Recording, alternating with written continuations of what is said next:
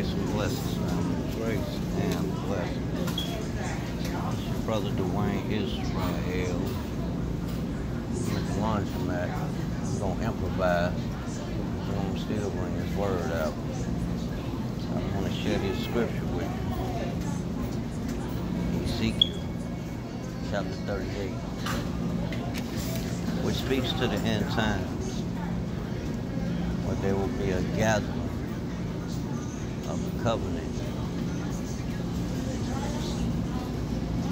Tribes of Jacob, 12 tribes of Israel. Probably ask yourself, why am I saying? What does that have to do with the so-called Negro?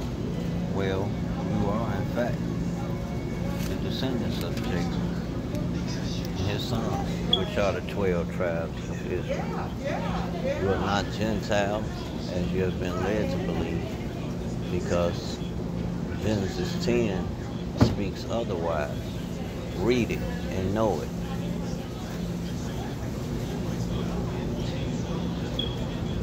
So I want to share with you what's to happen in the end days because we are living in the end times now. And you should know this. Your blueprint is this word, man. And the Most High is going to gather you from the nations you've been scattered. That's how you know it's you, because it speaks to the people that have been scattered.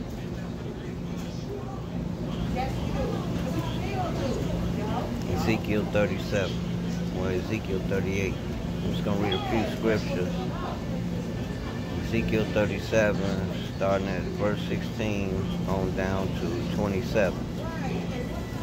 I this us because right now you have Negroes and other so-called Negroes that are scattered around the world, just as the book says they would be the children of the Most High. You got them awakening like me and receiving instructions from the book, family. We didn't try your governments, we didn't try your education, we didn't try your schools. Now, you need to try the Most High, your Creator. That's the only way you're going to overcome the world, family. Your institutions, higher learning, none of that is going to bring you out of what's going on. These nations are being judged, family. Why? Because the children of Israel, of Jacob, southern kingdom, and the northern tribes of Israel have been scattered. And these people that did it is in the land today. Do you not think that the same Elohim who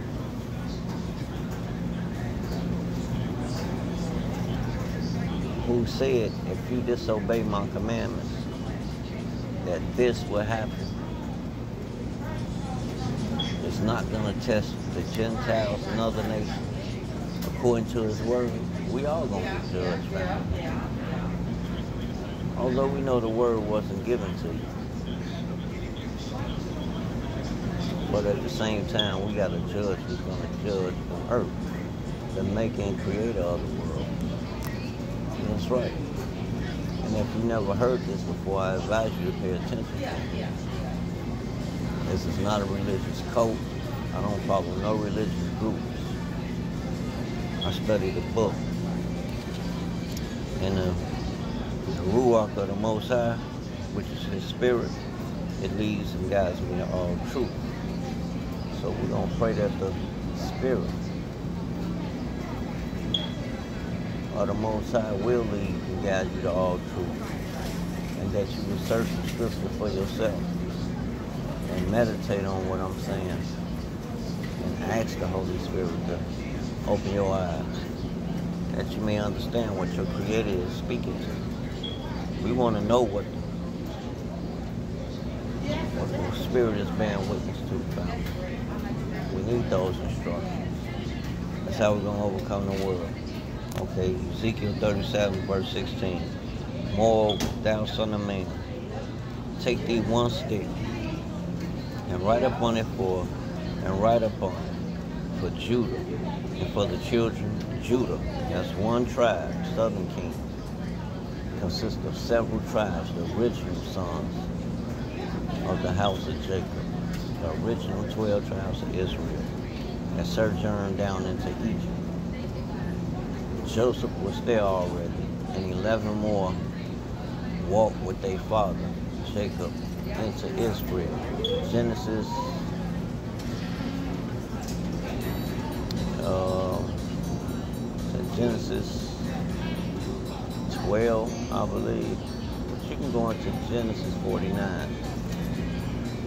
And it's going to tell you. Moreover, thou son of man, take thee one stick and write up on it for Judah and for, I mean, 1 Kings 12. It's going to show you the breakdown of the kingdoms. Northern kingdom and southern kingdom. There's a difference.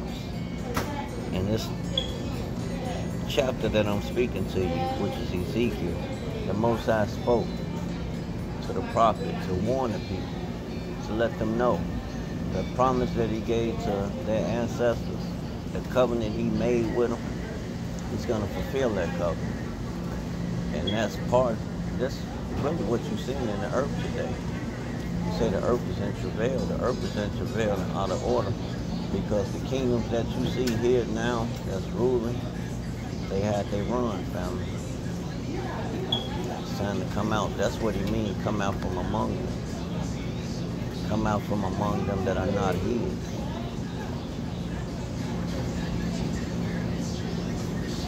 Moreover, thou son of man, take thee one stick and write up on it for Judah and for the children of Israel, his companions. Then take another stick and write up on it for Joseph, the stick of Ephraim, and for all the house of Israel, his companions.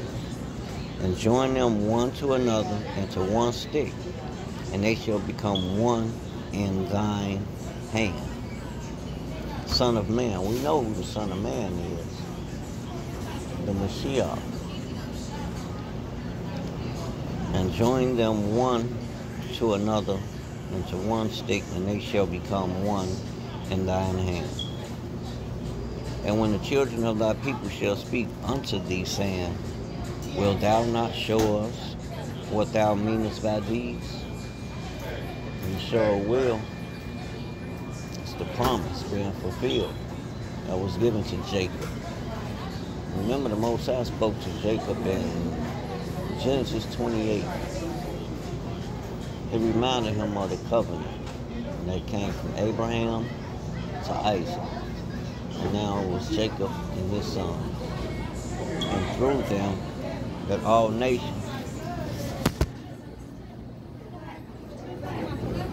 all, that all nations would be blessed.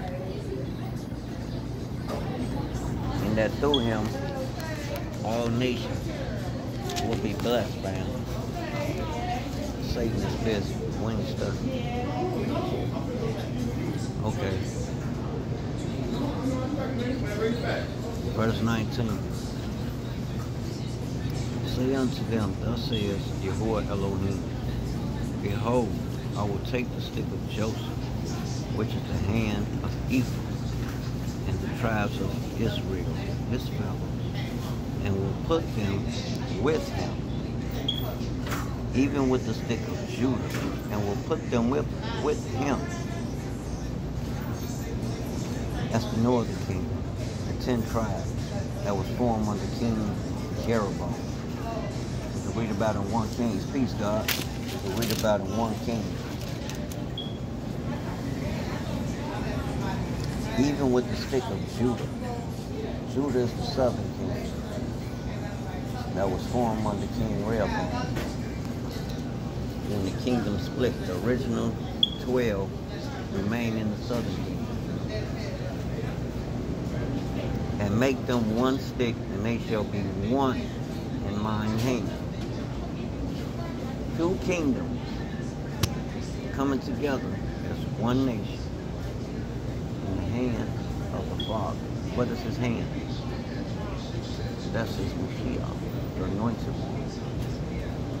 It's the one who told you, if I will be lifted up, that I will draw all men. talking about spiritual now. Hallelujah.